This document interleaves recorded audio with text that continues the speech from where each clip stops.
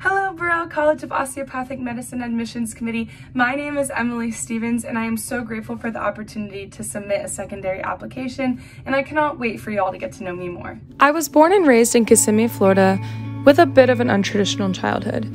My parents divorced when I was about six years old, and my birth mother battled with alcoholism for most of my childhood. Despite this, my father became the best single dad in the world and worked incredibly hard to provide for us, even with his lower income.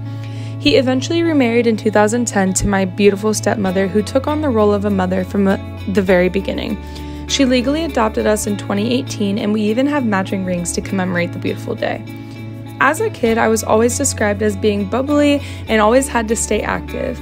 I participated in many sports such as dance, volleyball, softball, and competitive weightlifting. I actually made it to states for competitive weightlifting my junior year of high school.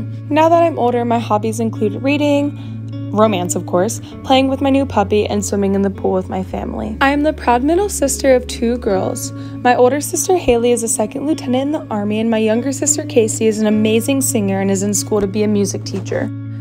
I recently graduated from the University of Florida with a degree in biology. During college, I became involved on campus as a resident assistant and met some of my best friends. I learned how to become a resource for others and I was exposed to professionalism. Becoming a mentor for students on campus inspired me to continue my passion for being a mentor at the local youth shelter, where I worked with kids with a similar childhood to mine. In the summer of 2022, I studied abroad in Spain where I learned about the Spanish culture, language, and healthcare system.